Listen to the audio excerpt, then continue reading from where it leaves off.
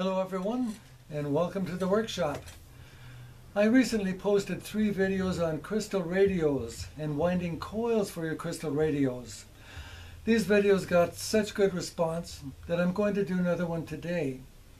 Today we're going to examine the most simple, basic, fundamental crystal radio you can possibly build. This radio is often called the Boy Scout radios because in days of old it used to show up in Boy Scout manuals under the heading Projects You Can Build to Earn Merit Badges. Merit Badges. And the merit badge was probably one in electricity. This is a very simple radio. If you don't count hardware and wiring, it has only four parts. There's a tuning coil. There's a movable wiper to tune the tuning coil. There's a germanium diode detector and either a pair of headphones or a little crystal earplug you put in your ear. Now I have a warning for you. If you intend to build this particular radio, beware.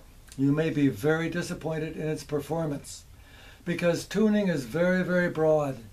You will probably only hear the most powerful local radio station and maybe one or two others in the background that are barely audible. This is what is meant by very broad tuning. Well, there is a cure for this problem that we'll go into later. But first, let's take a close look at the so-called Boy Scout radio. Here's an example of the Boy Scout Crystal Radio. It's the most fundamental, basic, and simplest radio you could possibly build. As I said before, it only has four parts. There is the coil, there's a wiper to contact the coil, what this does is lengthen or shorten the coil electrically to receive different stations. Here is a little germanium diode detector, and here is the crystal earphone. Now, if you plan to build a circuit like this, beware.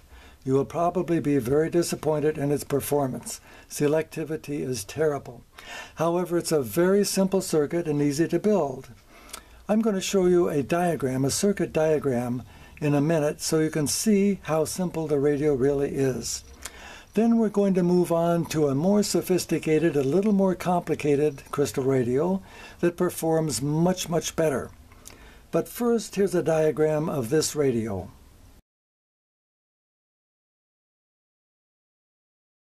Well, that sure is a very simple radio. But the basic trouble with the Boy Scout crystal radio is that it does not use what is called an antenna coupler. And just like the name implies, the antenna coupler couples your antenna to your receiver. And very interestingly, it does so magnetically, not physically. Here is an example of a typical antenna coupler. All antenna couplers employ two coils wound on the same form. There's a larger coil, the main tuning coil, and a smaller coil, the antenna coil.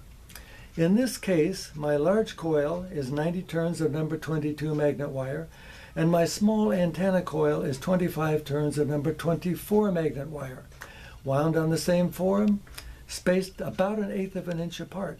There is no direct connection between the tuning coil and the antenna coil. The antenna coil is connected between your antenna and your ground. It is part of the antenna ground system. When radio waves strike your antenna, they set up a minute alternating current in the antenna ground system, which includes the small coil. The small coil sets up a minute magnetic field that cuts across some of the turns of the large tuning coil. This induces a very small alternating current in the tuning coil. Now this way your radio gets the radio signal but does not have to contend with all the resistance present in your antenna ground system. And what this does is make tuning much, much sharper. Well, that's the story on the antenna coupler. Now let's look at a somewhat more sophisticated crystal radio that utilizes this antenna coupler. And here's a somewhat more sophisticated crystal radio. It has a few more parts, but it will surely outperform any Boy Scout radio. Right away you see it has the antenna coupler, the large coil for tuning, and the small coil is called an antenna coil. It's connected directly between the antenna and ground. There's no direct electrical connection between the two coils, and they're spaced about an eighth of an inch apart. Now, although this, what we call a wiper, does a fairly good job of tuning, you can get even more control over tuning if you add a tuning capacitor, a variable tuning capacitor. Yes, these are still available brand new at Antique Electronics. That is tubesandmore.com online. Tubesandmore.com. Also, you will notice that my coil is not resting directly on the breadboard. It's about an inch above the breadboard. And that is because it's not a good idea for any radio frequency coil to be touching anything. So I designed these little offset brackets to hold the coil about an inch above the breadboard. I mount the brackets to the coil and then I mount the coil to the board and it does an excellent job. And as a final finishing touch, I've added a standard phone jack back here. This makes connection of my headphones fast and easy. Well, let's take a look at the schematic for this particular radio.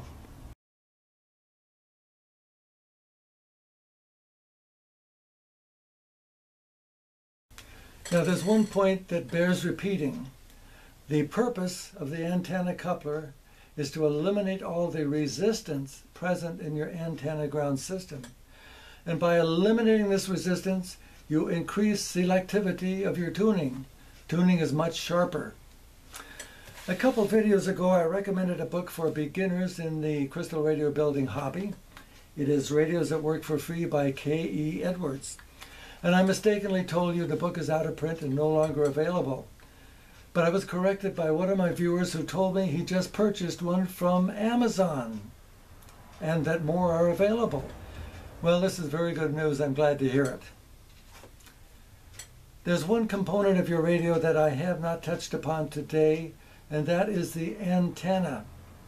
The antenna is just as important a part of your radio as the tuning coil, the wiper blade, the earphone, or any other part.